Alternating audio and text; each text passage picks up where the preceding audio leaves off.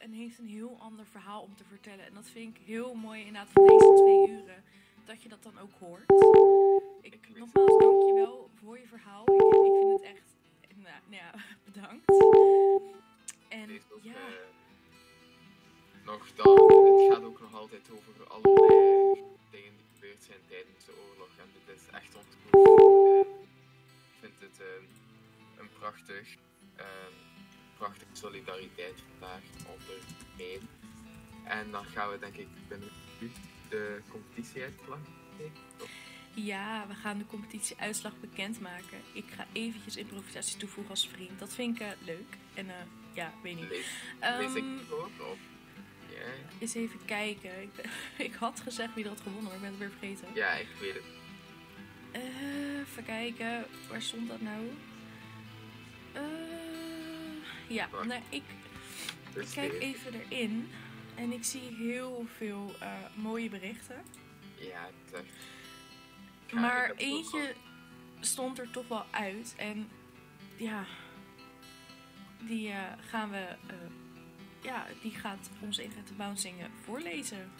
Ja, dus zoals de vorige keer ga ik eerst het gedicht, oh, het, het verhaaltje of wat het ook is, voorlezen voordat ik eh, de persoon bekend. Mijn vrijheid, hoe iedereen bij elkaar mag zijn. Geen rangen voor huidskleur, huidskleuren en of en afkomst. Helaas is het niet in alle delen van de wereld.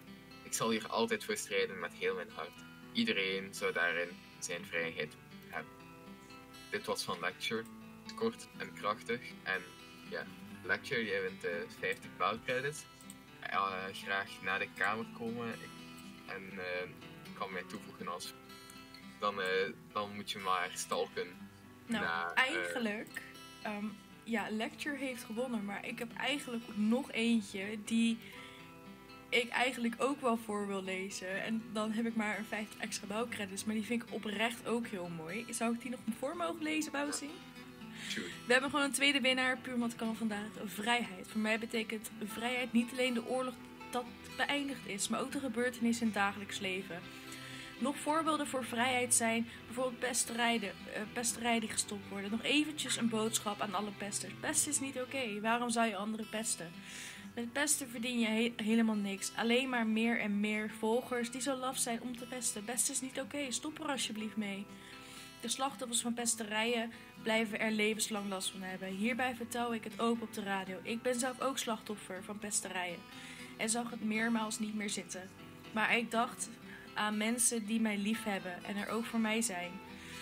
Ook dacht ik aan dat alle pesters niet mocht laten winnen. Alleen op die manier ben ik er sterker uitgekomen dan vroeger. En strijd ik voor gelijke rechten voor alle mensen op de hele wereld. Toon respect mensen, alsjeblieft. Ja, die was onze enige echte Akalia. Ik, ik weet niet. ik was hem aan het lezen en ik dacht...